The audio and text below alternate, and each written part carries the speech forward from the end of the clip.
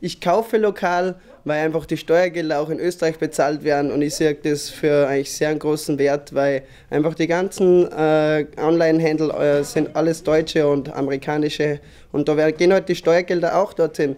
Was wollen wir? Danke.